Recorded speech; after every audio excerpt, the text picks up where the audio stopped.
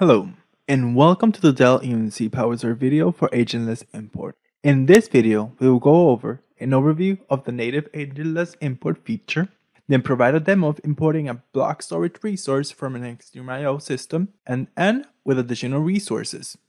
Initially, host clients might have their data for their applications in an existing Dell EMC storage system and would want to move the application data to PowerStore. The PowerStore native import feature can be leveraged to migrate data to PowerStore. The main components in order to accomplish this import are you have to have obviously your Dell EMC source system that may require a software upgrade. In this video, we will use an XtremIO cluster as an example. And second, you have the PowerStore cluster with one or more appliances. In the PowerStore, it has a native software called Orchestrator. is the one that manages the end-to-end workflow for the import. Think of it as the brain for the whole progress.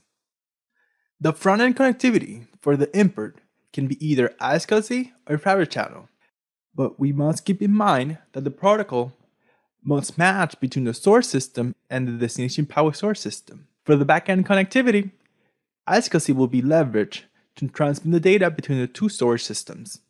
So we have talked about a bit of an overview. Now let's go in a little bit more detail into what the progress entails.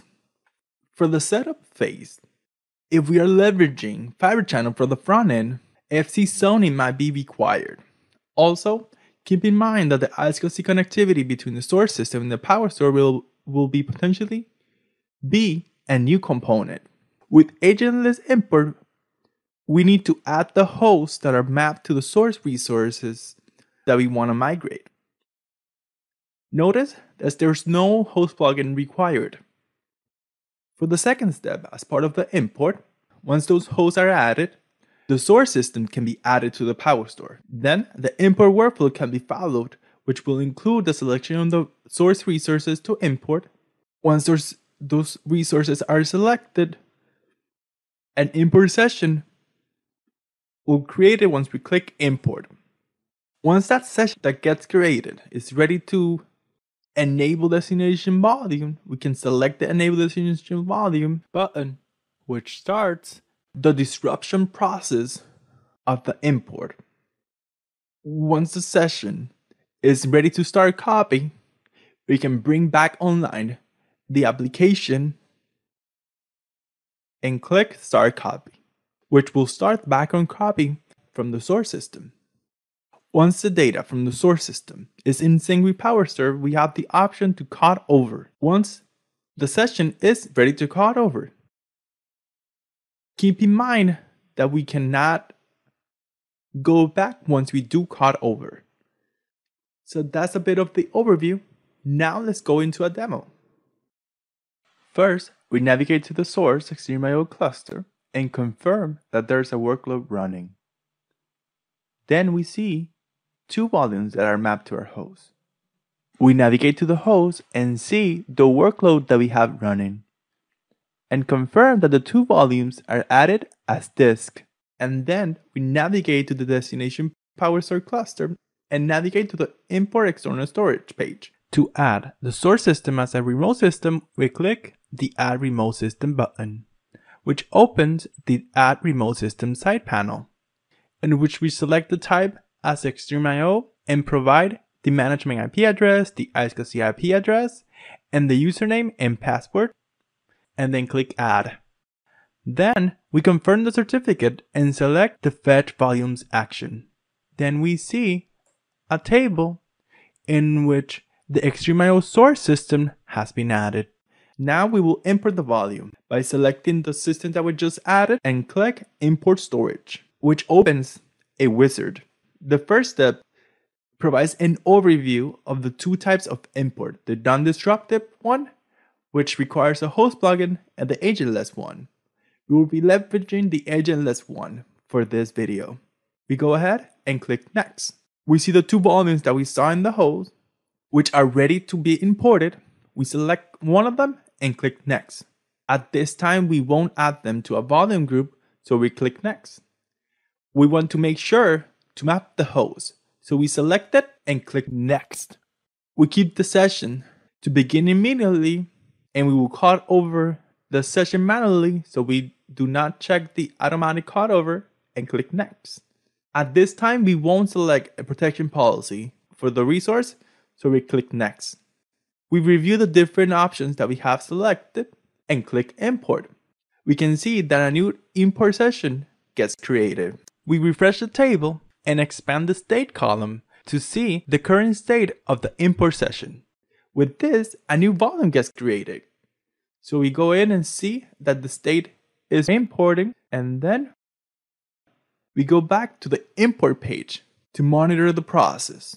Once this import session is ready to enable destination volume, we'll click more actions and click the enable destination volume action. A pop-up is shown requesting to confirm that the host application in the source is brought up offline. So we go back to the host and stop the workload that we were running.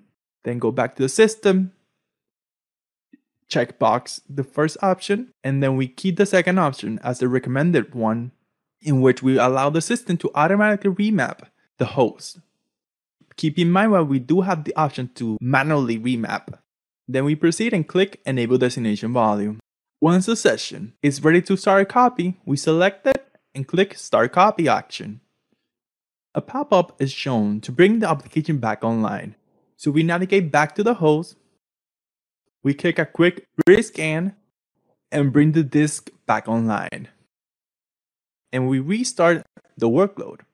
Once the workload is running, we go back to the PowerStore Manager, click the confirmation, and click Start Copy. At this time, the session will go into a copy in progress state.